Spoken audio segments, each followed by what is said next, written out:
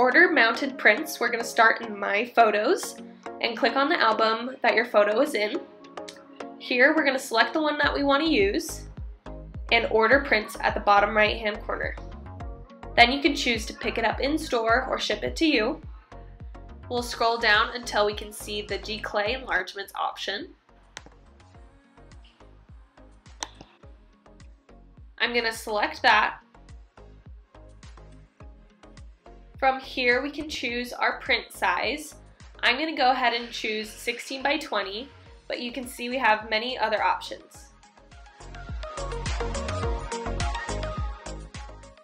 And to add our mounting, we'll click this additional options button right here, add our mounting, and hit apply.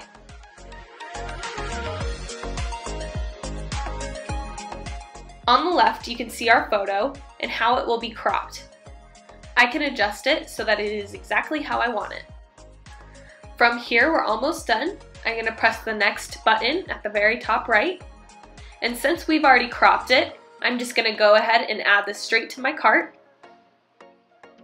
From here, we can proceed to checkout, and then you're done.